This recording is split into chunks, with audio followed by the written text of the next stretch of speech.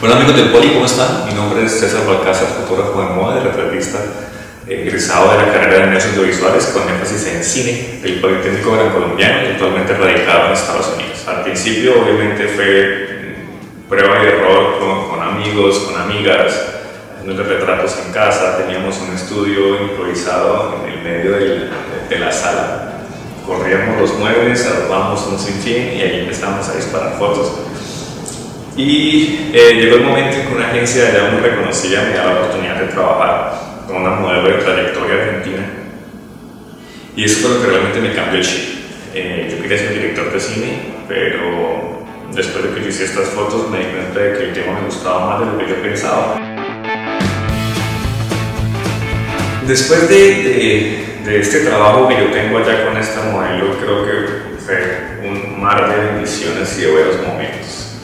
Empecé a mandar eh, fotos que yo hacía a las diferentes revistas de allá, a ver cuál podía llegar a tener buena aceptación y, aceptar mis fotos.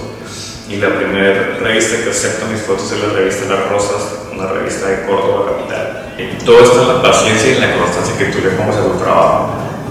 Ser fotógrafo no es una profesión fácil ni rápida, es de muchísimo tiempo, es de muchísima dedicación, de aprender mucho, tener un buen portafolio, tener un buen portafolio que puede llevar años. Para mí esa es la clave. Paciencia y empeño, y sobre todo muchísimo estudio y muchísima dedicación en lo que te gusta hacer.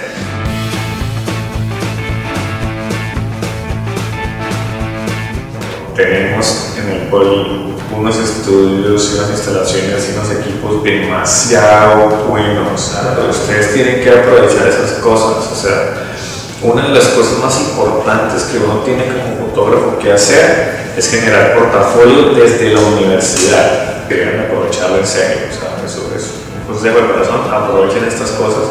No se consiguen fácil, ni siquiera en las universidades de Nueva York que tienen unos estudios tan grandes como esos de allá